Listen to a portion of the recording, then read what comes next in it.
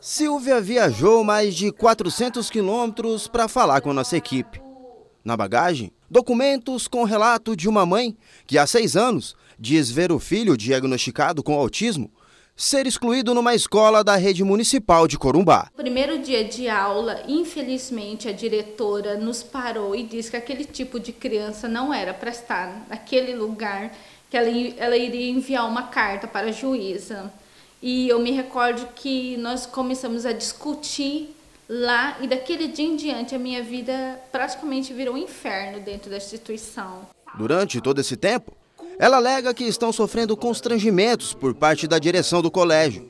Como nesta situação, em que na mensagem enviada aos pais, o nome do filho aparece separado da lista de alunos e de forma diferenciada. Foi então que ela resolveu denunciar. Procuradoria-Geral do município, que eu estive lá porque envolver o nome do meu filho, que é de menor, em um processo lá administrativo. Foi lá que, quando eu relatei há dois anos atrás, que está aqui um dos documentos, que eu relatei lá há dois anos atrás todo tipo de assédio moral, que eu passei dentro da instituição. Eu também eu estive na delegacia da cidade registrando um boletim de ocorrência, todo tipo de assédio que eu vivi.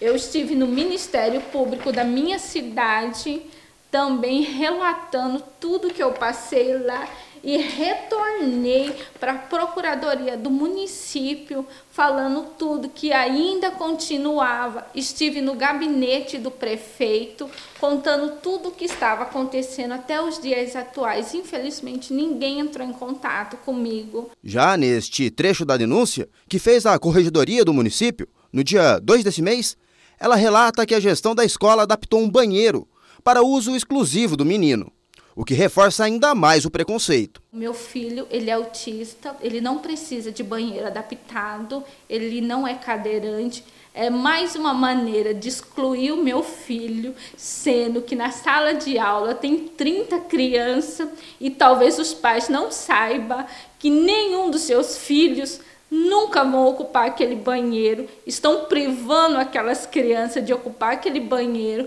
porque dizem que aquele banheiro é adaptado somente para o meu filho, sendo que ele não precisa. Mais uma forma horrível que eu tenho visto que o meu filho tem passado dentro da instituição. Você sabe o que é o autismo? Pois eu posso te afirmar que não é uma doença, e muito menos contagioso. Hoje no Brasil, a cada 110 crianças, uma tem autismo. Cada uma com suas próprias características, o que demanda algumas adaptações e também busca por direitos. Como, por exemplo, estudar numa escola mais próxima de casa, previsto em lei, e para todas as crianças em idade escolar. Será que todas as vezes que alguém passar qualquer tipo de constrangimento, todo tipo de assédio, Sou eu que vou ter que me retirar. Sou eu que sempre vou estar sempre saindo dali daquele lugar. Não. É a gestão que tem que mudar. A gestão que tem que haver o maior respeito.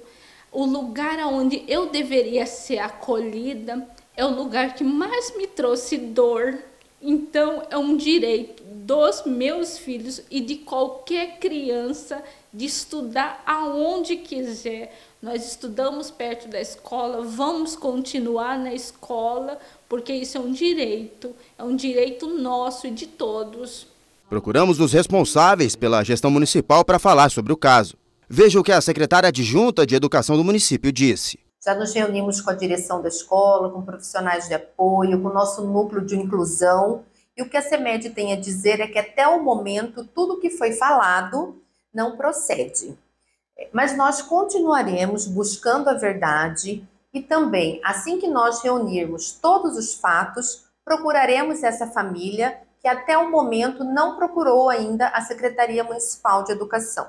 No entanto, Silvia já havia recebido uma resposta no gabinete do prefeito por meio de mensagem, com a promessa de que seria chamada para uma reunião na CEMED. Mas não aconteceu. Para ela, independente das medidas que forem tomadas, o que realmente deseja é que o filho seja acolhido. O acolhimento faz toda a diferença, faz diminuir talvez toda essa dor que nós pais passamos. Quem é pai de autista sabe que cada dia é um dia novo, é algo diferente, tudo ali é diferente. Qualquer coisa pode mudar a rotina deles e o acolhimento desses profissionais faz a diferença na nossa vida.